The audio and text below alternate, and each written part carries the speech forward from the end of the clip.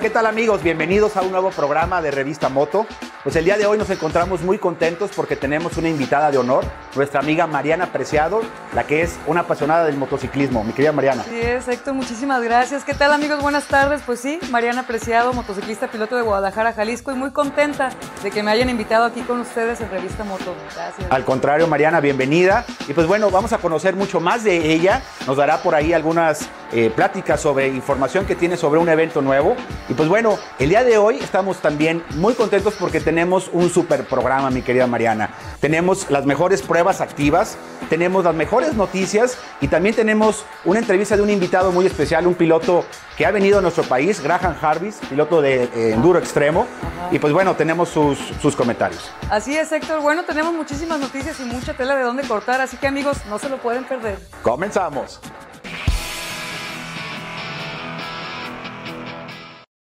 Hola amigos de Revista Moto TV, estamos en su sección de tendencias y rumores.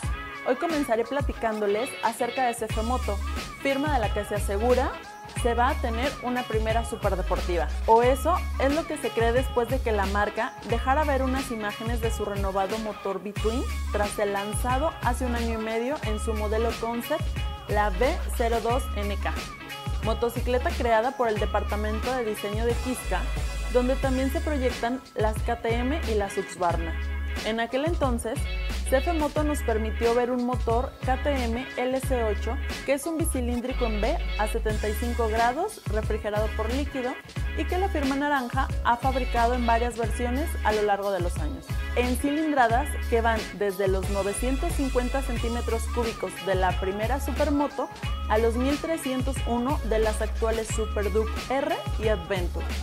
Pues bien, estas nuevas imágenes nos dejan apreciar el motor modificado, especialmente en la parte de las culatas, que ahora son distintas, así como también el sumidero de aceite y la colocación de la bomba del agua, la cual ahora tiene la salida delante, lo que indica que el radiador estará situado en el frontal.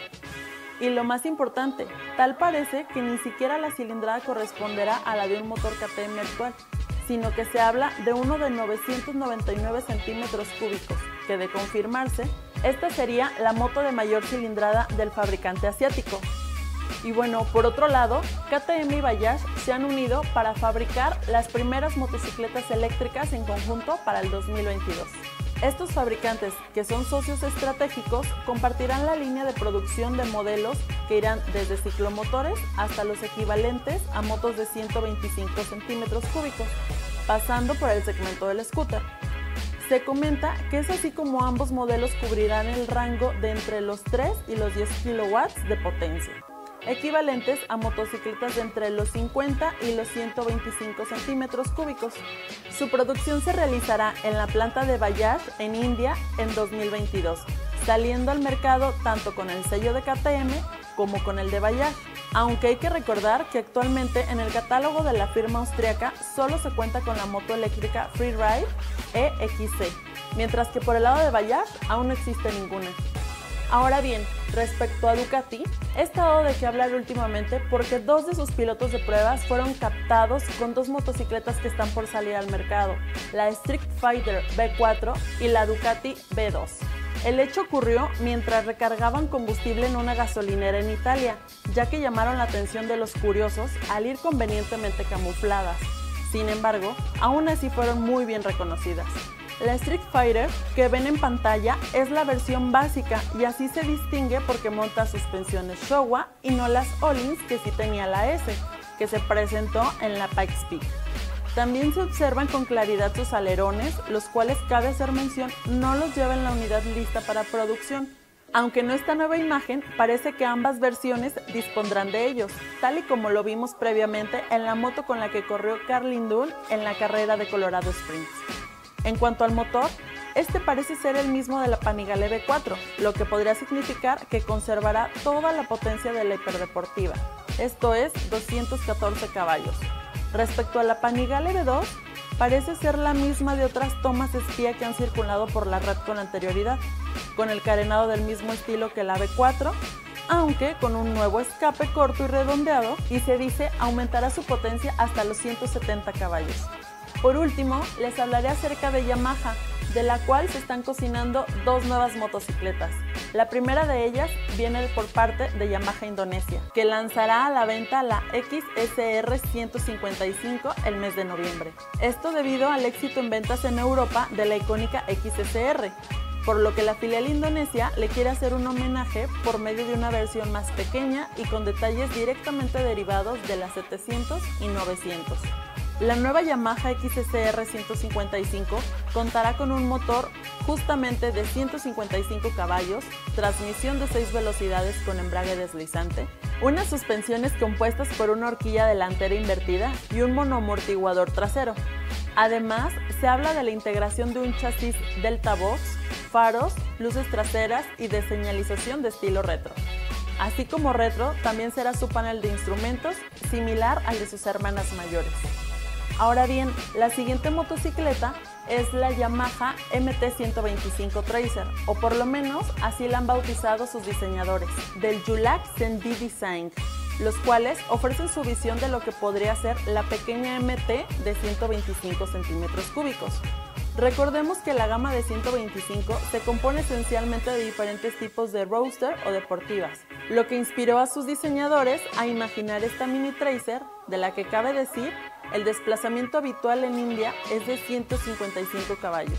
La equiparon con el motor con distribución variable BBT que porta la nueva R125. Incluso ofrecería suficiente maletero para poder considerar un buen paseo y satisfacer al espíritu aventurero de los jóvenes motociclistas. Esperemos que Yamaha sea sensible a este boceto y que la idea les haga cosquillas, puesto que no dudamos que la MT125 Tracer le gustará más de uno de sus fans.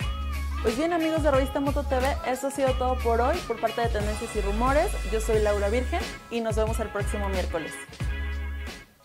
Oye Héctor, fíjate que la otra vez fui de visita a la Ducati de Guadalajara y me comentaron que te presentaron una moto. A ver, platícame de cuál fue. Ah, buenísimo, Mariana. Pues sí, fíjate que nuestros amigos de ahí de Ducati Guadalajara tuvimos el honor de que pudimos probar la nueva Ducati B4S. Ah, esa buenísima. Sí la vi, cómo no. Es una moto increíble, es una moto deportiva, el color rojo de Ducati impresionante.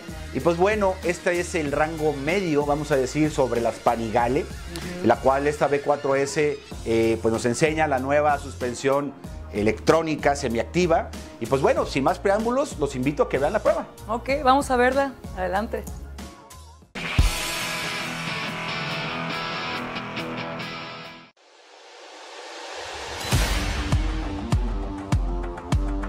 Ducati Panigale B4S, una superbike con alma de fuego. Esta superbike equipa el nuevo motor de 4 cilindros en B que llega a los 214 caballos de fuerza con 124 Nm de torque a 13.000 revoluciones por minuto.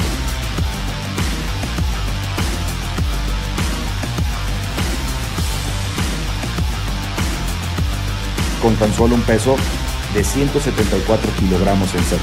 Con tecnología experimentada de MotoGP, la versión S está equipada con suspensiones Onix semectivas o sistema Smart S 2.0 y componentes de alto nivel, como los rines forjados de aluminio y la batería de litio de serie.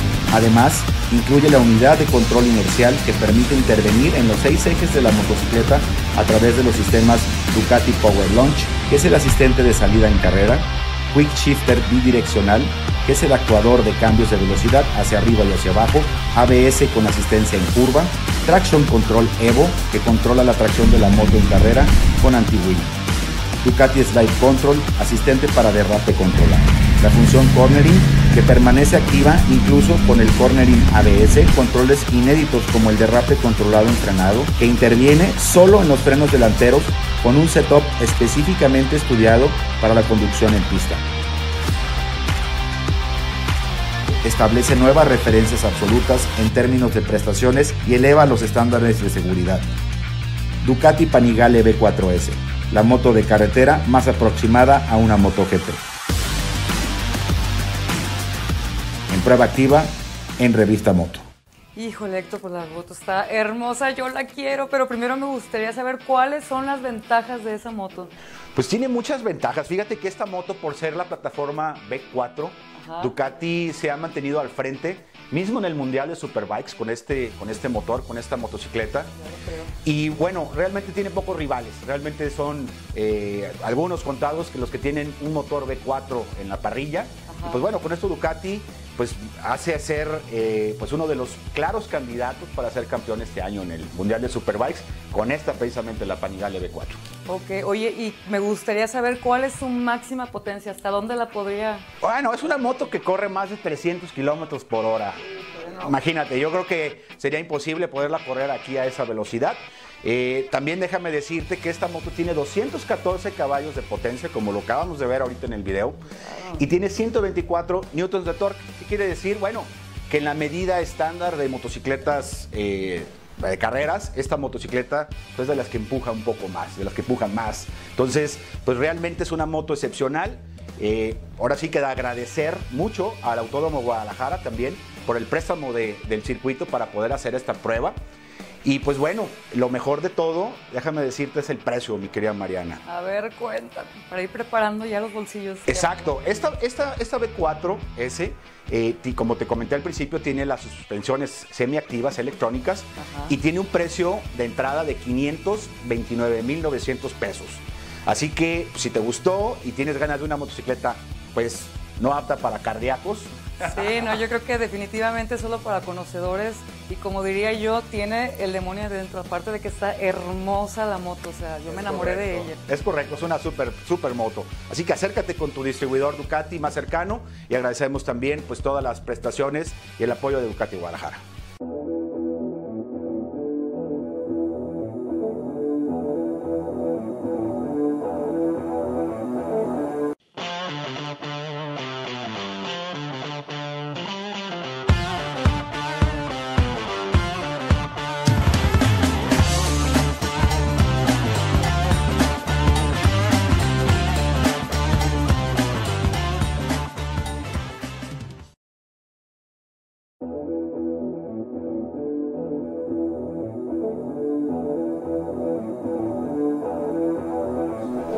Continuamos amigos.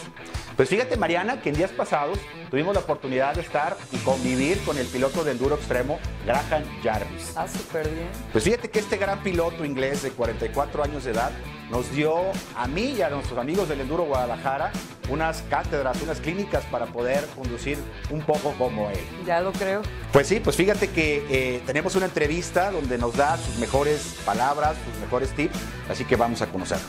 interesante, vamos a verlo.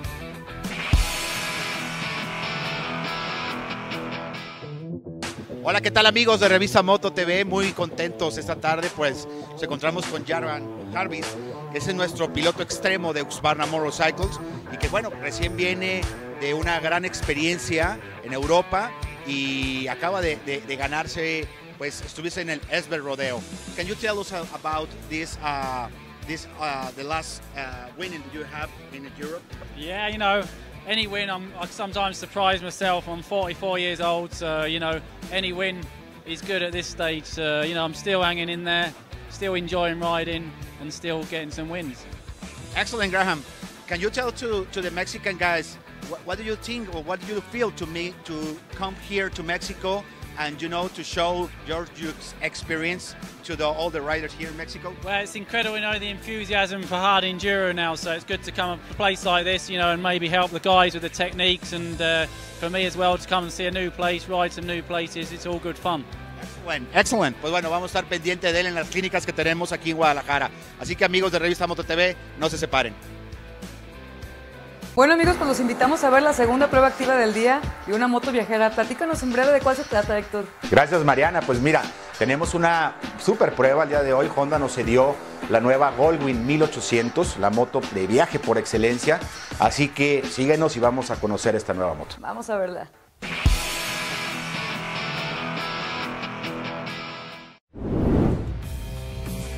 Honda GL 1800 Goldwing. Maximiza el placer en tus viajes.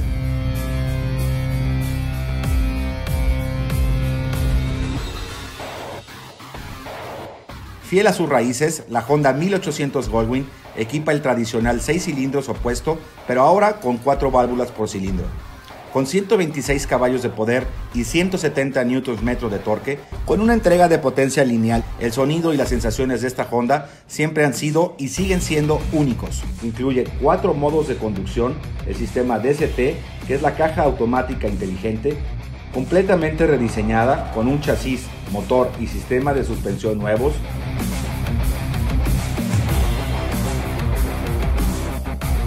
El modelo insignia de Honda sigue ofreciendo niveles excepcionales de comodidad y lujo, tanto en la ciudad como fuera de ella.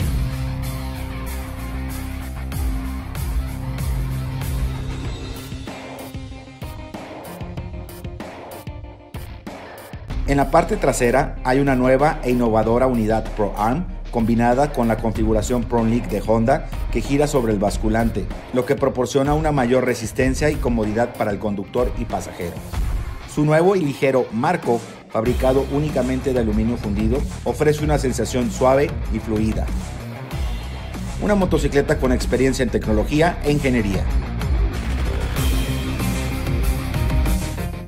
Pues la moto está excelente, muy buena para agarrar unos buenos viajes con ella, pero me gustaría saber un poquito más de la, del lado técnico.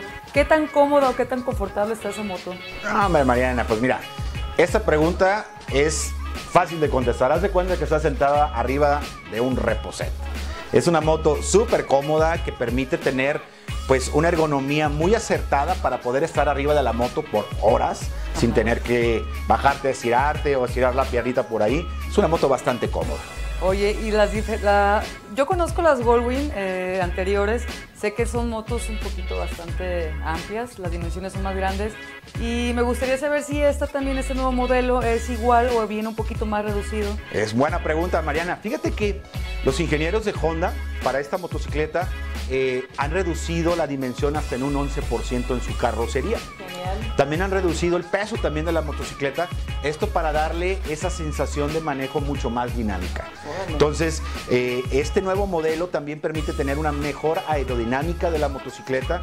Obviamente también mantiene la reversa en esa motocicleta, que normalmente nos tienen acostumbrados a tener una moto grande y tener reversa. Pues bueno, este modelo lo tiene y también permite, eh, como te lo dije, este sistema DST, pues hacer los cambios automáticos. Simplemente aceleras y ella se va a encargar de hacer los cambios hacia arriba o hacia abajo según lo necesites. Órale, no, pues entonces con esa moto definitivamente podrías dar la vuelta al mundo si tú quisieras. Sin ningún problema, me queda Mariana, y sin cansarte, que es lo más Ay, importante. ya, pues, bueno, me imagino el manejo, súper suave. Es un manejo súper dinámico, súper suave, que te invita a atacar curvas, a hacer rectas, a estar mismo en lugares pues eh, con lluvia o con un poquito más de, de- de problemas en el camino. Pues es una moto que te va a ayudar mucho por su eh, buen carenado, el buen parabrisas que tiene, pues una moto bien dotada. Claro, te da toda la seguridad. Y bueno, me gustaría hacerte la pregunta del millón, Héctor. ¿Cuánto cuesta esa motocicleta? Pues sí, Mariana, fíjate que esta es una pregunta importante. Esta es una moto que nuestros amigos de Powerhouse Galerías nos cedieron y tuvimos la oportunidad de manejarla. Y tiene un costo de solo 655 mil pesos en su versión estándar. ¿no? Es una moto que realmente vale la pena, como bien dices, pues, para darle la vuelta al mundo. Claro, así es. Bueno, pues entonces vamos a visitar la concesión o Powerhouse de Guadalajara. Así es, los invitamos a nuestros amigos. Y pues bueno, vamos a continuar aquí en este eh, programa de Revista Moto TV.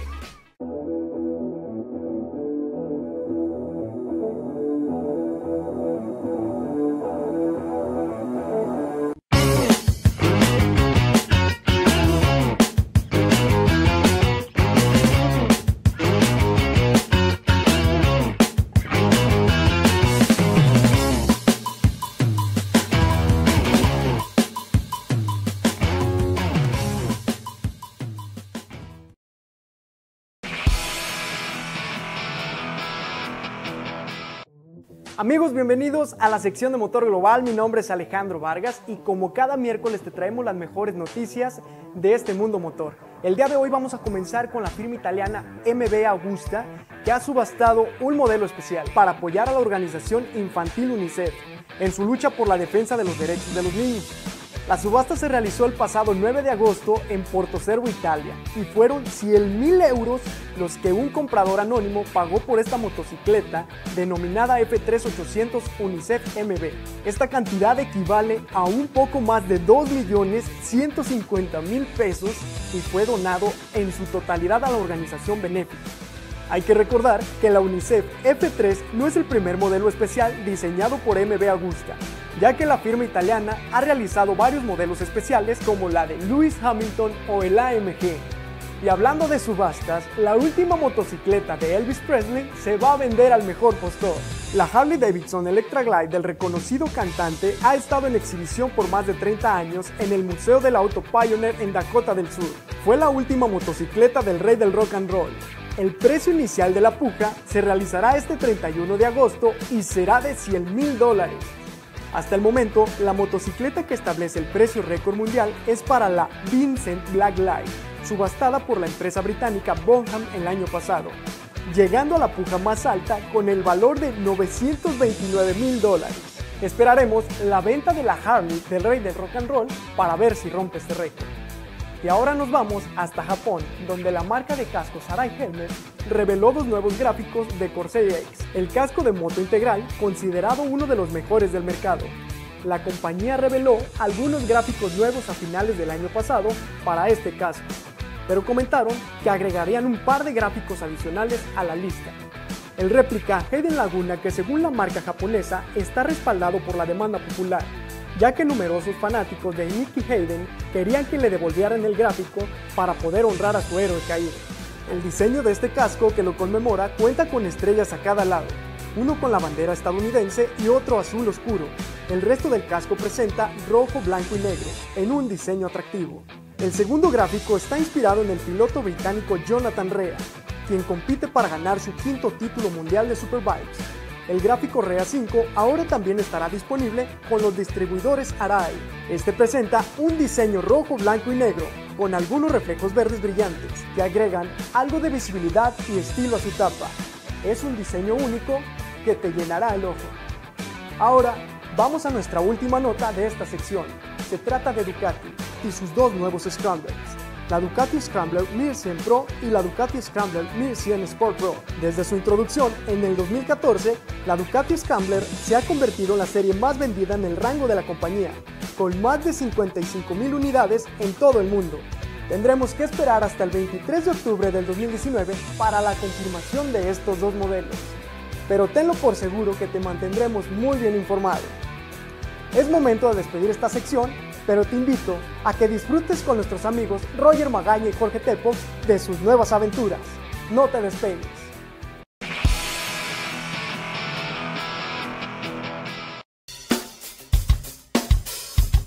Amigos, hoy viajaremos a un pequeño rincón de nuestra República Mexicana, donde imponentes bellezas naturales están esperando por nosotros. A pocos kilómetros de Ciudad Capital, entre los estados de Hidalgo y México, se encuentra Soyaniquilpan de Juárez. Para llegar a nuestro destino nos adentramos en un camino rural lleno de lodo y piedras. Nos topamos con la primera maravilla, un hermoso río de aguas transparentes, el cual se filtra a través de un bosque de enormes agüehuetes y que a su vez forma parte de las cascadas del Fresno. Eh, es un lugar virgen, son cuatro cascadas que hay aquí en la zona como las podrán ver hermosas, ahorita con el clima se presta súper bien para disfrutarlas, para estar con la familia. Sabinos gigantes, cañadas con microclimas, espacios perfectos para el ecoturismo. Pero lo mejor estaba por venir. A unos metros descubrimos una ruta todavía más complicada, vacas y más lodo.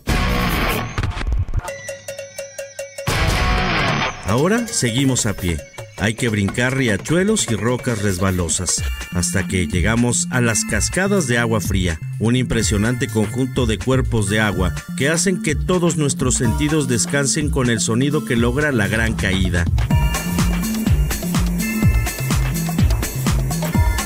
En esta ruta destacan también la ex hacienda de La Goleta y la de Tandejé. Durante la intervención francesa, Soyaniquilpan fue el paso de Maximiliano en sus viajes al norte del país. Para llegar a otro sitio impactante, Es necesario atravesar una barranca profunda de 300 metros de caída utilizando una tirolesa. Quizá esto no les parezca audaz o interesante, pero en esta ocasión se convierte en vital.